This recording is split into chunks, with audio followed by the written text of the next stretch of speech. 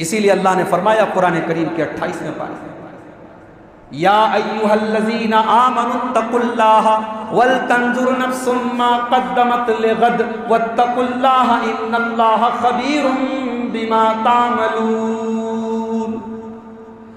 ईमान वालो, तुम अल्लाह से डरो और हर इंसान ये गौर करे, उसने कल के लिए क्या तैयारी की है? कल से मुराद आखरत है, आखरत के लिए क्या तैयारी की है? दुनिया में आपको गर्मी लगती है, आपके घर में इन्वर्टर लगा हुआ अल्लाह ने आपको पैसा दिया, आपने एसी में लगवा के रखा है, बेहतरीन कूलर का इंतज़ाम। कयामत के दिन की गर्मी से बचने का कोई इंतज़ाम है आपके पास? सर्दी का मौसम आता है, आपके बच्चे गर्म कपड़े पहनते गर्मी का मौसम आता है, आपके घर में कॉटन पहना जाता है। सूरज नौ करोड़ तीस लाख मील दूर है, और इसकी गर्मी से बचने के लिए हम इतना इंतज़ाम अल्लाह के नबी फरमाते हैं कि कयामत के दिन सूरज एक मील की दूरी पर। गर्मी और पसीने का ये आलम होगा कि कोई पूरा गर्दन तक, कोई पेट तक, कोई कमर तक, कोई घुटने तक, कोई टकने तक अपने अपने अमल और अकीदे के अतबार से लोग पसीने में डुबकी लगा रहे उस गर्मी से बचने के लिए मेरे भाइयों, क्या इंतज़ाम है अल्लाह के प्यारे नबी फरमाते हैं तो शरून यौमल क़ियामती हुफातन उरातन गुरला कल क़यामत के दिन, तब जब तुमको मैदान महशर में इकट्ठा किया जाएगा तो सारे के सारे लोग नंगे पैर होंगे, नंगे बदन होंगे और सारे के सारे मर्द हजरात बगैर खतने के होंगे। मुसलमान के घर में खतना होता है। हमारे नबी ने इस्लाम की फितरत फितरत की अलामतों में से एक चीज़ बताया है कि खतना करवाया गया मगर कयामत के दिन सारे के सारे लोग बगैर खतने के नंगे बदन, नंगे पैर और बगैर खतने अम्मा आयशा ने पूछा है अल्लाह के नबी, जब सारे के सारे लोग नंगे बदन होंगे और मर्द हजरात भी होंगे, औरतें भी होंगी तो एक दूसरे को देखेंगे। ये तो बड़ी शर्म हया का मकाम होगा, ये तो बड़ी गैरत का मकाम होगा। लोग एक दूसरे को देखेंगे। आपने फरमाया, या आयशा अल अमरु अशद का आयशा, कयामत के दिन किसी मर्द को ये फुर्सत नहीं कि वो किसी औरत की तरफ़ देखे, किसी औरत को ये फुर्सत नहीं कि वो मर्द की तरफ़ देखे। अरे, कयामत का दिन तो ऐसा दिन है। कि दूध पिलाने वाली माँ को अपने बच्चे की फ़िक्र नहीं होती। यौम तरौनहा तजालु कुल्लु मुर्जियतिन अम्मा अरजात। कयामत के दिन तुम ये देखोगे कि दूध पिलाने वाली माँ भी अपने बच्चे से गाफिल है। वह तजो हमलिन हमलहा। और हमल वाली औरतों के हमल साबित हो जाएँगे। वह तरन्ना सा सुकारा बेसुकारा। और तुम्हें ऐसा लगेगा कि लोग नशे की हालत में, हालाँकि कोई नशे की हालत में नहीं होगा। वला किन्ना अजाब अल्लाह शदीद। अल्लाह का अजाब इतना दर्दनाक नफसी नफसी का आलम दुनिया में इंसान परेशानी में होता है तो भाई काम आता है, माँ काम आती है, बाप काम आता है, शादीशुदा हो तो बीवी काम आती है, बच्चे काम आते हैं। कयामत का दिन तो ऐसा दिन होगा, अल्लाह ने फरमाया, यौमा यफिरुल मिन अखी व उम्मिही व अबी व साहिबतिही व बनी, लिकुल्ल मिनहुम शानुन युगनी।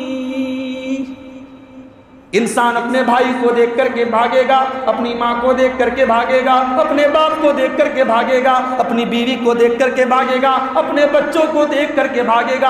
हर इंसान को सिर्फ़ अपनी पड़ी होगी। और भागेगा ही नहीं। इंसान कहेगा अल्लाह, मेरे बाप को पकड़ ले, मुझे छोड़ कुरान का उनतीसवां पारा उठाओ।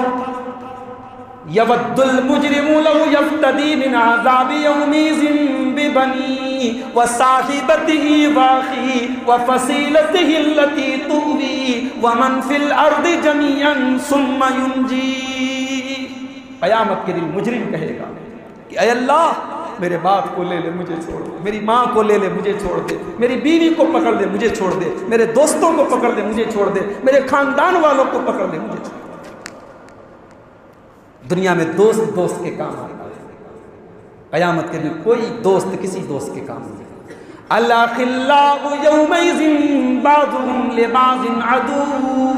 उस दिन दोस्त दोस्त का दुश्मन होगा। नफसी नफसी का। दुनिया में जब हम सोनार के पास जाते हैं तो सोनार के पास जो तराजू होता है वो दुनिया का सबसे कीमती तराजू माना जाता है। औरतें जो नाक में पहनती हैं, नथिया, जो कान में पहनती हैं ईयर रिंग मतलब सोने की मामूली चीज़ को भी सोनार के तराजू पर जब हम रखते हैं तो सोनार का तराजू बता देता है कि ये सोना कितने मिलीग्राम है। ग्राम नहीं, कितने मिलीग्राम है। ग्राम का कितना पॉइंट पॉइंट करके भी कितना ग्राम बनता है, वो बता देगा भाई, दुनिया में हमारी नज़र में सबसे कीमती तराजू सोनार का तराजू। कयामत के दिन भी तो अल्लाह ताला हमारे अमाल को तोलेगा। और अल्लाह का जो तराजू होगा, वो तराजू कितना सेंसिटिव होगा और उस तराजू में किस किस चीज़ को तोला जाएगा, जरा आइए कुरान की आयत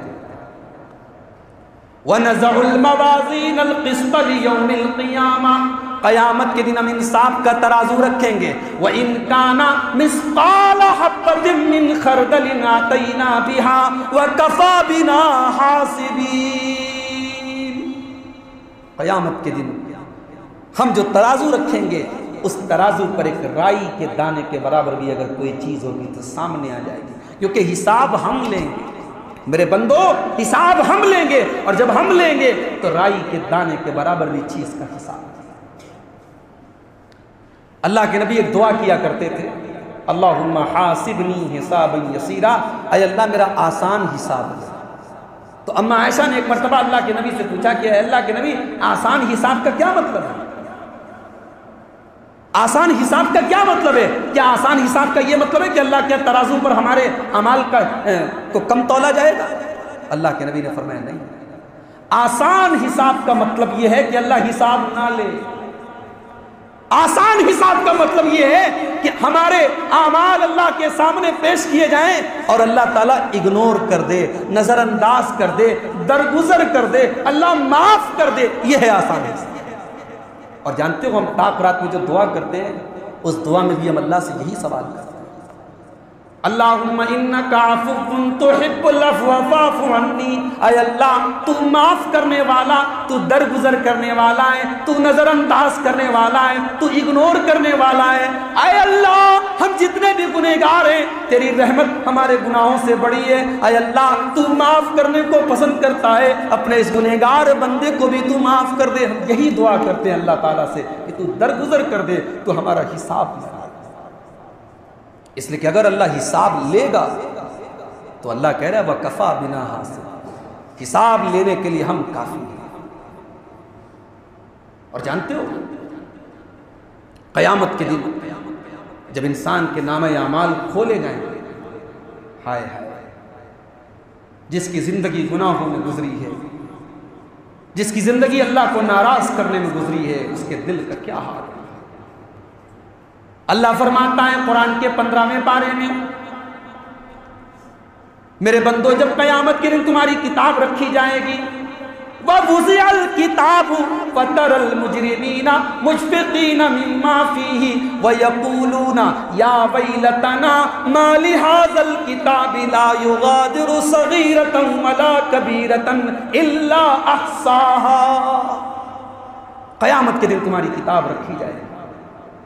तो जो अल्लाह के मुजरिम बंदे होंगे, जो गुनहगार बंदे होंगे, जो हमारे और आपके जैसे होंगे, वो डरे हुए और क्या कहेंगे? या वही लतना हाय हमारी बर्बादी, माली हाजल किताब। ये कैसी किताब है? ला वला कबीरतन। इस किताब ने तो कुछ भी नहीं छोड़ा। छोटे से छोटा गुना भी इसके अंदर रिकॉर्ड किया गया है और बड़े से बड़ा गुना भी इसके अंदर नोट किया गया है। ला युगादिरु सगीरतम वला कबीरतन इल्ला अहसाहा। इस किताब ने तो सब कुछ रिकॉर्ड किया। दुनिया की अदालतों में हम वकीलों को खरीद लेते हैं, जजों को खरीद लेते हैं, झूठ बोल देते हैं, झूठी कसम खा लेते हैं, झूठी गवाही दे देते हैं। कयामत के दिन ऐसा कोई नहीं कर पाएगा। अल्लाह ताला सबसे पहले हमारे मुँह के ऊपर मुहर अला अफवाहिहिम व बिमा कानू आज हम तुम्हारे मुँह के ऊपर मोहर लगा देंगे, तुम्हारे हाथ गवाही देंगे, तुम्हारे पैर गवाही देंगे। हाथ और पैर गवाही। हाथों से क्या क्या किया हाथ बोलेगा, पैर से क्या क्या किया पैर बोलेगा। कान भी गवाही देगा, आँखें भी गवाही हमारे बदन की स्किन भी गवाही देगी। जाऊहा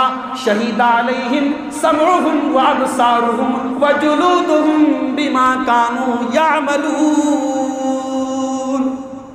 कल कयामत के दिन जब तुम हमारी बारगाह में आओगे, तुम्हारे कान तुम्हारे खिलाफ गवाही देंगे, तुम्हारी आँखें तुम्हारे खिलाफ गवाही देंगी, तुम्हारे बदन की स्किन तुम्हारे खिलाफ गवाही वकालूलजुलूदिहिम लिमा शहीदतुम अलैना कालू अंतकनल्लाहुल्लजी अंतक कुल्ल शै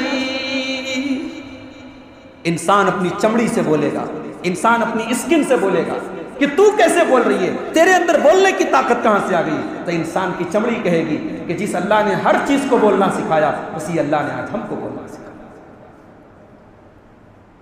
वहाँ हम क्या जवाब देंगे मेरे भाई हमारी ज़िंदगी तो अल्लाह को नाराज़ करने में गुजर क्या पाँच ताक रातों में जाग करके हम अल्लाह को दे दें, हिसाब दे देंगे कि हाँ अल्लाह, हम बहुत नेक थे, बड़े इबादत गुजार थे।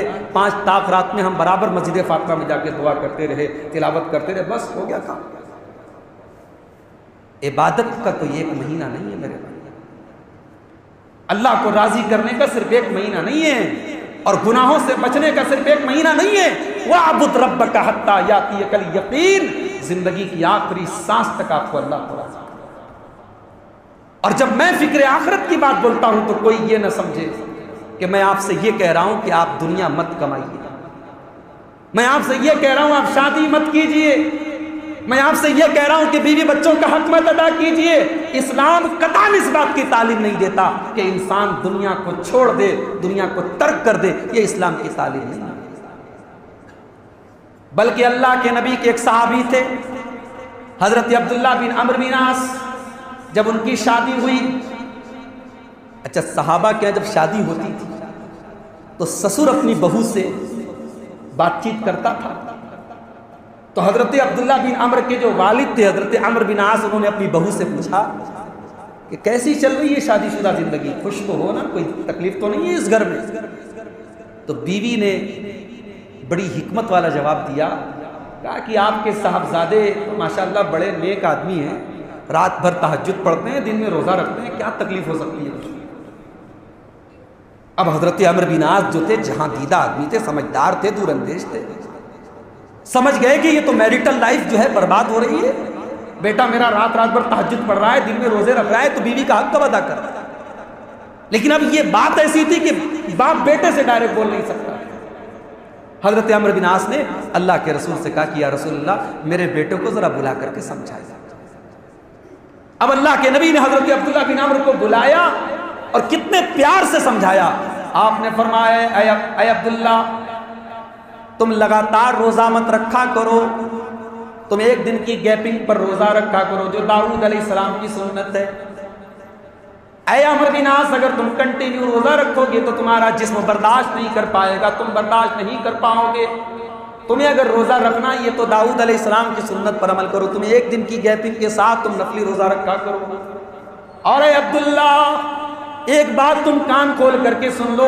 इन जसदी कालई का हक्का, व इन ऐनी कालई का हक्का, व इन जऊजी कालई का हक्का। अय अब्दुल्ला तुम्हारी आँखों का भी तुम्हारे ऊपर हक है, तुम्हारे जिस्म का भी तुम्हारे ऊपर हक है, तुम्हारी बीवी का भी तुम्हारे ऊपर हक है, और तुम्हारे रब का भी तुम्हारे ऊपर हक है। यह है इस्लाम की तालीम। इस्लाम कतान इस बात की तालीम नहीं देता कि आप दुनिया छोड़ दें। दुनिया के इसी झमेले में रहना है और आखरत की तैयारी करना। यही तो असल तकवा है। इसीलिए हज़रत उमर फारूक ने जब हज़रत उबई बिन काब से पूछा था कि तकवा का मतलब बताइए। तो हज़रत उबई बिन काब ने कहा, या अमीर अलमोमिन अमर तब तरीक ज़ाती शौकतिन? क्या आपका गुजर कभी ऐसे रास्ते से हुआ है जिसमें कांटेदार झाड़ियाँ हो दोनों तरफ़ और रास्ता बहुत तंग हो? ऐसे रास्ते से कभी गुजरे हैं आप? कहा कि हाँ गुजरा हूँ। कहा कैसे गुजरे हैं आप? कहा कि उशम सियावी अपने कपड़ों को समेट करके, अपने कपड़ों को बचा बचा करके, अपने जिस्म को बचा बचा करके मैं रास्ता क्रॉस कर कहा अमीर इसी का नाम तो तकवा है। इसी का नाम तकवा है। कि दुनिया में ख्वाहिशात के कांटे चारों तरफ़ हैं, शैतान के कांटे चारों तरफ़ हैं और इन कांटों में रहना है और इन कांटों से अपने दामन को बचा करके आखिरत की तैयारी करना इसी का नाम तकवा है। हमारे नबी ने क्यों दुनिया की के ऐशो आराम को तरजीह नहीं दी? अगर मेरे नबी आरामदेह बिस्तर पे सो लेते तो क्या हराम था? जायज़ मगर मेरे नबी आराम दे, बिस्तर पे नहीं सोते, मेरे नबी चटाई पे सोते। साहबा ने कहा अरे अल्लाह के नबी, कैसर किसरा अपने महलों में आराम से रहते हैं। आप हमारे नबी हैं, हमारे मोहतरम हैं, हमारे सरदार हैं, हमारे आका हैं। आप आराम दे बिस्तर पे लेटे हम आपके लिए गद्दे का इंतज़ाम कर देते हैं। अल्लाह के नबी ने क्या जवाब दिया? आराम दे बिस्तर पे सोना हराम नहीं था, जायज़ था। मगर नबी ने क्या जवाब दिया? क्योंकि मेरे नबी पूरी दुनिया के लिए आइडियल थे और मेरे नबी जानते थे कि बिस्तर जितना आरामदेह होगा, ज़िंदगी जितनी आरामदेह होगी लाइफ जितनी लग्जरियस होगी, हिसाब किताब उतना ज़्यादा देना पड़ेगा। और हर इंसान ज़रूरी नहीं है कि लग्जरियस लाइफ गुजारे और उसका हिसाब अल्लाह के दे सके। अल्लाह के नबी ने क्या फरमाया? माली वली दुनिया। ऐ मेरे सहाबा, मेरा दुनिया से क्या लेना है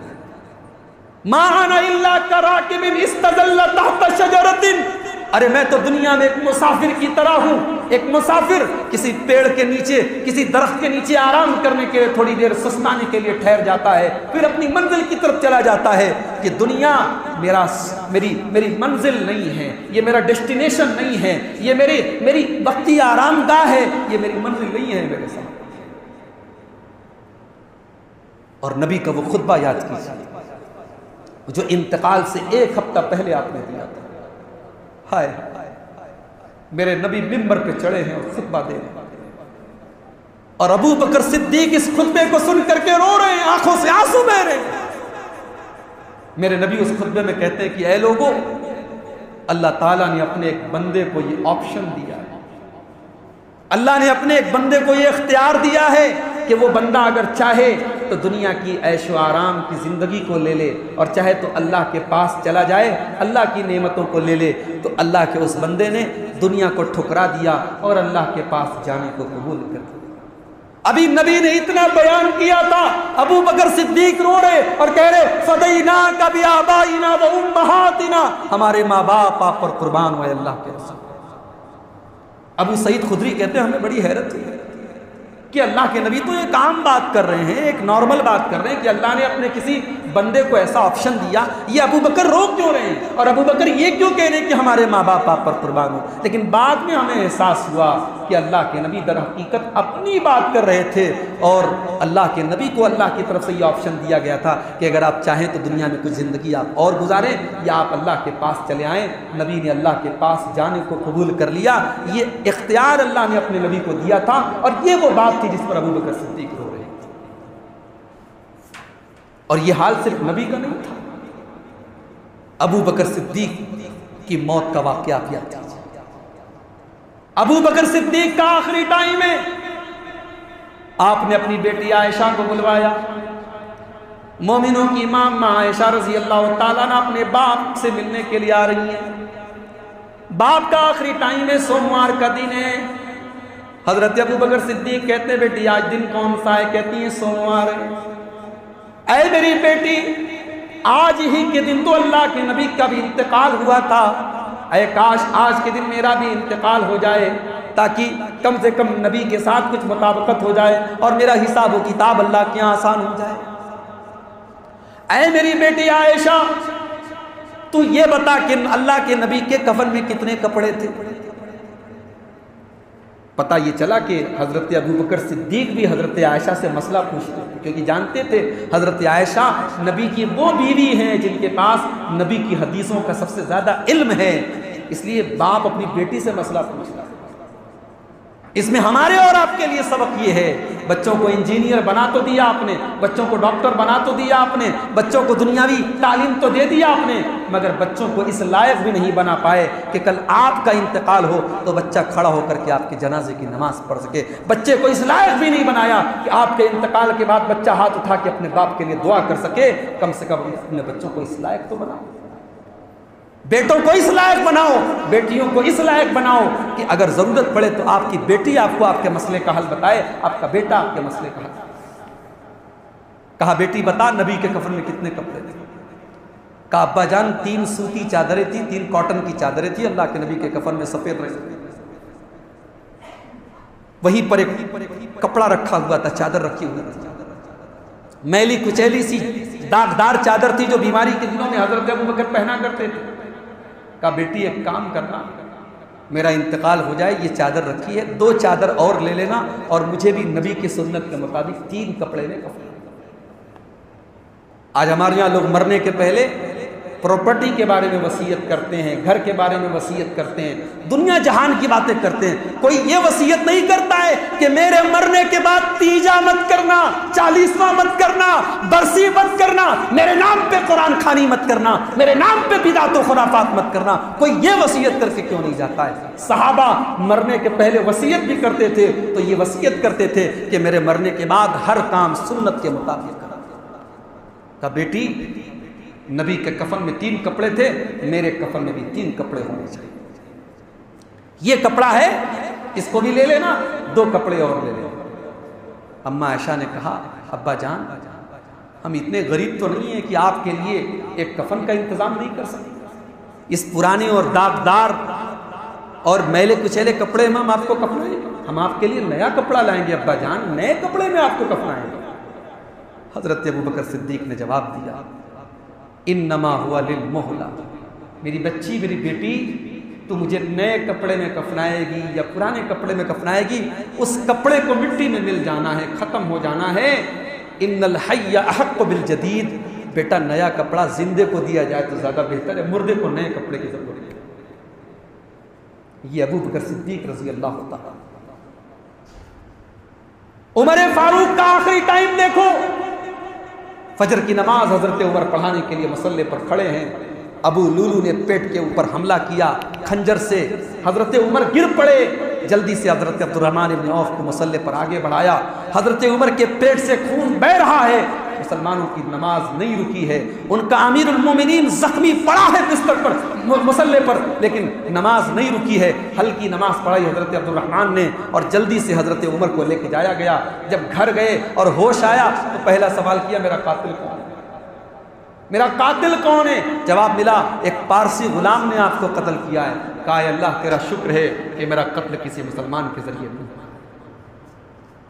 उसके बाद हज़रत उमर फारूक रज़ी अल्लाह के पास एक नौजवान आता है। देखा कि हज़रत उमर के चेहरे पर बड़ी घबराहट है और बहुत घबराए घबराए से हज़रत उमर लग रहे हैं। कहा अमीरुल मोमिनीन, आपको घबराने की क्या ज़रूरत है? आप तो अल्लाह के रसूल के इतने बड़े साहबी हैं, आपने इस्लाम के लिए इतनी खिदमत की है। आपने नबी का साथ दिया है, आपने नबी के साथ जिहाद किया है और नबी के जाने के बाद जब अबू बकर सिद्दीक का दौर आया तो आपने उनका भी साथ दिया है। फिर आपको जब खलीफा बनाया गया, आपने इस्लाम की बड़ी खिदमत की है। आपको परेशान होने की क्या ज़रूरत है? हज़रत उमर कहते हैं, तूने जितनी मेरी खूबियों को गिनाया है, काश की मेरी वो खूबियाँ अल्लाह कबूल कर। अरे मैं तो ये चाहता हूँ कि अगर ज़मीन भर के सोना मिल जाए और अल्लाह कहे कि आए उमर तो ज़मीन भर के सोना ले आ, मैं तुझे जहन्नम के अजाब से बचा लूँगा तो उमर ज़मीन भर के सोना देने को तैयार नौजवान वापस जाने लगा। उसका कपड़ा टकने के नीचे लटक रहा था। हज़रत उमर ने उसको वापस बुलाया। कहा, भतीजे, ज़रा अपने कपड़े को सही कर ले। तेरे कपड़े भी साफ़ रहेंगे और तेरे दिल में अल्लाह का तकवा भी रहेगा। आखिरी टाइम में भी हज़रत उमर ने शरीयत के खिलाफ कोई चीज़ देखी तो बर्दाश्त नहीं कर पाए। उसके बाद अपने बेटे अब्दुल्ला इब्न उमर को बुलाया। कहा, बेटा, जा और अम्मा आयशा से जाकर के पूछ ले, इजाज़त ले ले कि उमर इब्न खत्ताब आपसे इजाज़त मांग रहे हैं, चूँकि वो कमरा आपका है, वो हुजरा आपका है उमर इबन खत्ताब इजाज़त मांग रहे हैं कि अपने दोनों साथियों के पहलू में, उनके बाजू में दफन होने की इजाज़त मांग रहे हैं। अगर अम्मा आयशा इजाज़त देगी तो मेरे बच्चे, मुझे उसमें जाके दफनाना, नबी के और सिद्दीक के बगल में दफनाना, वरना मुझे मुसलमानों के आम कब्रस्तान में दफना ये उमर फारूक है। इन लोगों की ज़िंदगी फ़िक्र आखरत में गुजरी है उस्मान गनी रज़ी अल्लाह जब किसी कब्रस्तान के पास से गुजरते जारों कतार रोने लगते और कहते कि काश अल्लाह मेरे लिए कब्र की मंजिल को आसान कर कहने वालों ने कहा कि उस्मान जन्नत का ज़िक्र आता है तो आप नहीं रोते हैं, जहन्नम का ज़िक्र आता है तो आप नहीं रोते हैं, लेकिन कब्रस्तान के पास से गुजरते हैं, कब्र को देखते हैं तो रोने लगते हैं। हज़रत उस्मान ने कहा इन कब्र अव्वल मंजिल मनाजिल आखिरा। मैंने अल्लाह के नबी को ये फरमाते हुए सुना था कि कब्र आखरत की पहली मंजिल है, इसने इस मंजिल को पार कर लिया, उसके लिए आगे की मंजिल आसान मेरे भाइयों, फ़िक्र आखरत अपने अंदर पैदा कर। कभी कभी कब्रस्तान जाओ और सोचो, इस दुनिया में अल्लाह को नाराज़ करने वालों का आज क्या अंजाम हुआ है? और वो अल्लाह के यहाँ अपना, अपने अमल के हिसाब का हिसाब आज खबर में दे रहे हैं और कल कयाम के दिन रमज़ान का ये मुबारक महीना और इसकी ये मुबारक रात, आज मैं आपसे यही अपील करता हूँ कि हम दुनिया की ज़िंदगी में आखरत की तैयारी करें। हम दुनिया कमाएँ, दुनिया को बेहतर बनाएँ, मगर अंधे बन करके नहीं आखरत से गाफिल होकर के नहीं, जायज़ तरीके से दुनिया को कमाएँ और दुनिया के अंदर रह करके आखिरत की तैयारी करें। अपने जिस्म को, अपने वक्त को, अपने माल को, अपने बच्चों को, हर चीज़ को आखिरत को बेहतर बनाने का ज़रिया बनाएँ। हमारा माल भी आखरत को बेहतर बना सकता है। हमारा जिस्म भी आखरत को बेहतर बना सकता है। हमारी नॉलेज और हमारे इल्म के ज़रिए भी हम इस्लाम की खिदमत कर सकते हैं। हम अपने बच्चों के लिए भी इस्लाम, अपने बच्चों के ज़रिए भी इस्लाम की खिदमत कर सकते हैं। बस शर्त यह है कि हम फ़िक्र आखरत अपने अंदर पैदा कर लें। अल्लाह से दुआ है, अल्लाह ताला हम सबको अपने दिलों में फ़िक्र आखरत को पैदा करने की तोफ़ी फरमाए। रब्बुलमीन हमारी ख़ताओं से दरगुजर फरमाए, हमारी नेकियों को कबूल फरमाए। हमारी जो भी टूटी फूटी नेकियाँ रमज़ान के इस महीने में हुई हैं जो मुबारक महीना अब अपने अख्ताम पर है ख़त्म होने वाला है। अल्लाह इस मुबारक महीने में हमसे जो भी नेकियाँ हुई हों, अल्लाह उनको कबूल फरमाए। और जो भी हमसे ख़ताएँ हुई हों, अल्लाह उनके से दरगुजर फरमाए। अल्लाह इस महीने के बाद भी हमें बाकी ग्यारह महीने भी अल्लाह अपनी रज़ा के कामों को करने की तोफ़ी दे और अपनी नाराज़गी के कामों से हम बच, को बचने की तोफ़ी दे, जो हम में बीमार हैं। अल्लाह उनको शफाए कामिल आजिलता फरमाए। जो रोज़ी रोटी से परेशान हैं, अल्लाह उनके कारोबार में बरकत नसीब फरमाए।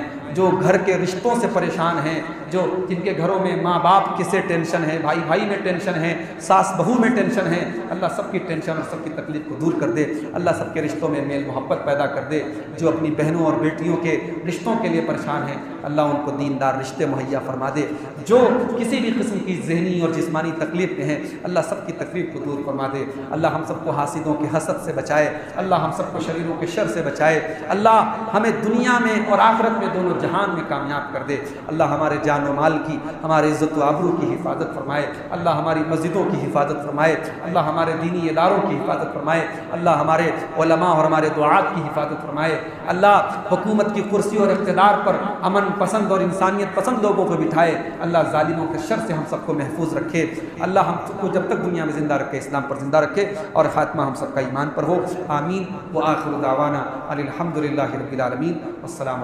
वरहमल वर्क